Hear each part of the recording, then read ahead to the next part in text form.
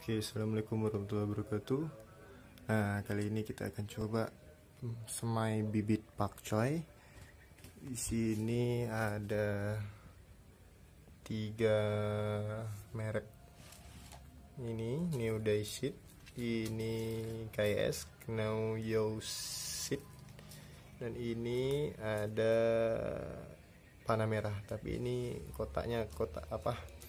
Bibit lainnya, tapi ini pakcoy uh, plastiknya udah hilang ke mana yang penting ini panah merah udah gitu. Kita akan coba kita kasih label. Ini NDS Neo Seed ini KYS Know You Seed dan ini PM panah merah.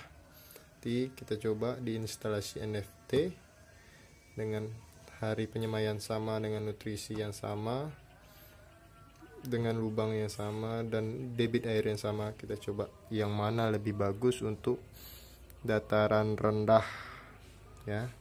Dataran rendah dengan tingkat panas sampai 40 derajat celcius oke terus pantau.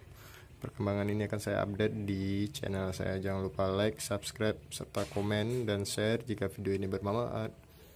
Bang pet hidroponik ini kita sengaja pakai pomade karena untuk jangan sampai dia masuk angin. Bukan pomade tempatnya aja. Tapi ini udah dipindahin ke sini. Nah, kita coba kita buka.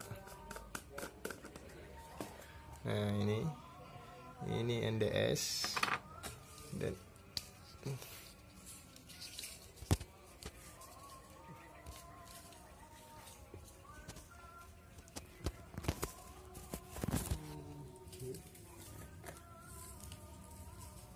ini ada KS ini kita. Di sini ada ya ini panah merah. Kita coba.